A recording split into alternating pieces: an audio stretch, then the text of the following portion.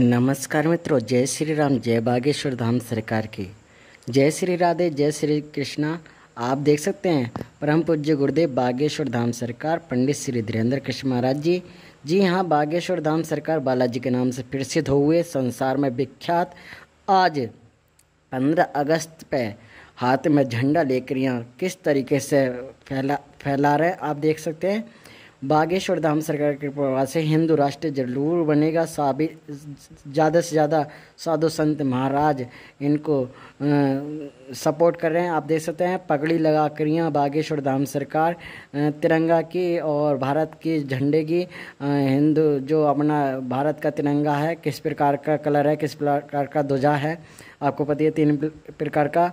और पगड़ी भी लगा रखी है गुरुदेव ने और झंडे भी फहरा रहे हैं। किस प्रकार से भगत लोग आगे पीछे बंदे मातरम बोलते हुए चल रहे हैं, जय हिंद, जय भारत की बोलते हुए चल रहे हैं। और इस बीच में आपको बताते चले अनुरुद्धाचार्य जी महाराज जी ने भी बाजी मार दी है। गौरी गोपाल आश्रम किससे थोड़े से दूर जाकर यहाँ अनेक प्रकार के स्कूलों में जाकर यहाँ झंडा फहराया और संबोधित किया, बच्चों को संस्कार दिए और बच्चों को भारत माता की जय बुलवाई और भारत के बारे में बताया। और भारत को तरक्की पर लाने के लिए उनसे अपील की है।